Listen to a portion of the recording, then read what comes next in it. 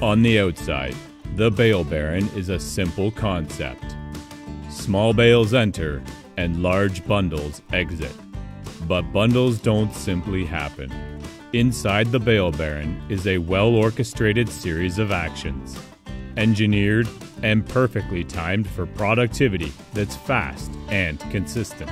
Let's take a look inside the Bale Baron 5250P to better understand how a bundle of 21 bales is actually made.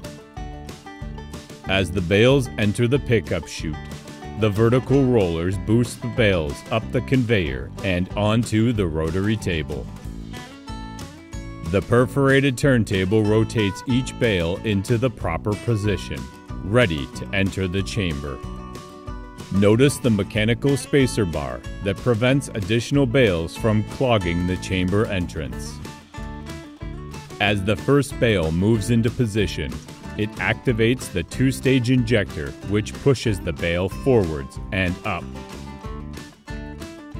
The second and third bales are also injected into the chamber, creating a stack of three bales. As the plunger starts working, it also moves the holding doors out of the way. Next, the plunger pushes the stack deeper into the chamber, making room for the next column.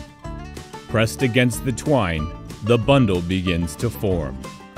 Repeating this process, the Bale Baron creates seven stacks, making a 21 bale bundle. The tie cycle is now ready to begin. At this point, the end gates close and hold the bales in place, while the plunger compresses them. This compression creates a tightly packed bundle. Up from the bottom, four long needles draw the twine around the entire bundle and into the Rasspe knotter. Using 450 strength plastic twine, the Rasspe knotter ties the large bundle together safely and securely.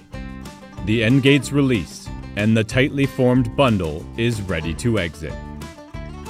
As the next bundle is formed, the tied bundle is pushed down the roller ramp and lands gently on the ground. You now have 21 bales neatly packed together, giving you small bale profit and large bale efficiency. The Marcrest Bale Baron. Fast, consistent, and simple.